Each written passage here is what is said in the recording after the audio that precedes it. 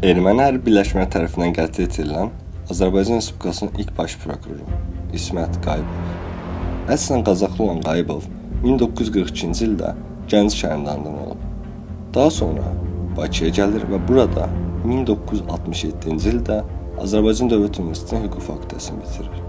Elə tələbəlik illərində o artıq Sovet İttifaqı Kommunist Partiyasının üzvü olmuşdur. Bu isə artıq onun siyasətə atılma nöqtəsi idi.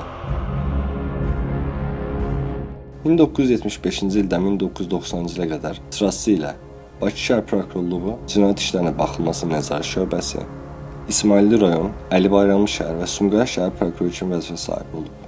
Elə Sumqayıtda fəaliyyət göstərərkən 1988-ci ildə baş verən Sumqayıt hadisələrinə görə şəxsən 96 nəfər barəsində həbs qəti imkan tədbiri seçdiyini, lakin erməni səfərçilərinin törətdiyi cinayət nəticəsində heç bir cəza almamasını qəzəblə bildirirdi.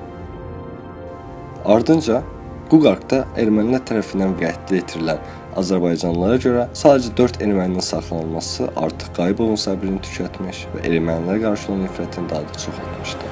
Biz ordunu da yaradırıq, qruppaları da yaradırıq, OMONu da yaradırıq. Ancaq erməni yaraqlılarla mübarizə və bizim xalqımızın gücü çatacaqkən biz onları tam məhv edək. Nəhayət 1991-ci ildə Respublikanın baş prokuroru seçilməyi Qarabağ uğrunda mübarizə aparmaq üçün ona güc qatacaqdı. Lakin nəinki baş prokurorluq vəzifəsi, hətta həyatının bitməsinə sadəcə bir ay qalmışdı. Çünki bu vəzifəyə keçdikdən bir ay sonra Kremlindən Bakıya gələn zəng hər şey dəyişdi. Mikhail Qarbaçovun köməkçisi Təhlükəsizlik Şurasının növbəti iclasını Dağlıq Qarabağda keçirməyi xahiş edirdi. Buna səbəb erməni rəsmiləri ilə Rus rəsmilərində iclasa qatmaq istədiyini və buna görə də ortaq yer kimi Qarabağ göstərilmişdi.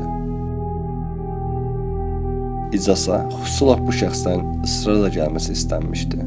Dövlət katibi Tofiq İsmailov, baş prokuror İsmət Qayıbov, dövlət təhlükəsizlik müşaviri Məhəmməd Əsədov, baş nazirin müavini Zülfü Hacıyev, millət vəkilləri Vaqif Cəfərov və Vəli Məmmədov və prezident aparatı şöbə müdiri Osman Mirzəyev və dövlət səviyyəsində ən önəmli mövqe tutmuş daha bir neçə Azərbaycan və Qazaxıstanlı şəxs siyahıya daxil edilmişdi.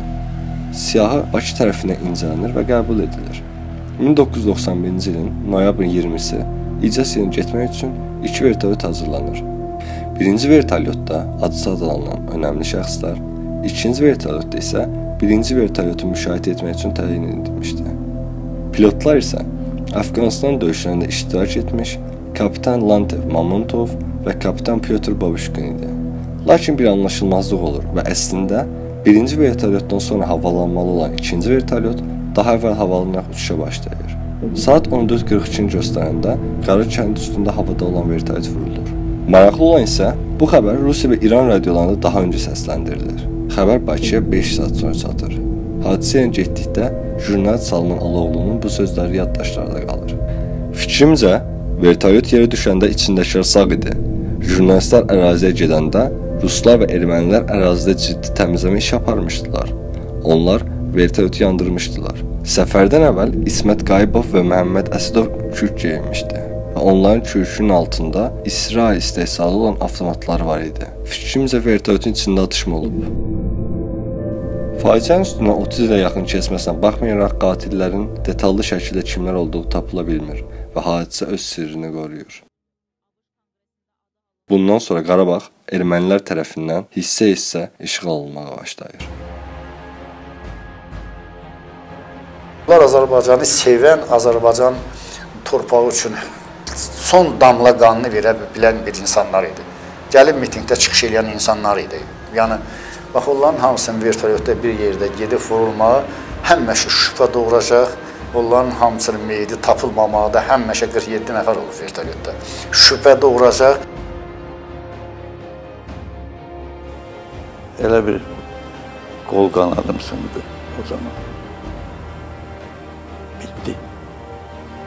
Çox böyük mənəvi zərbə idi şəxsən mənim.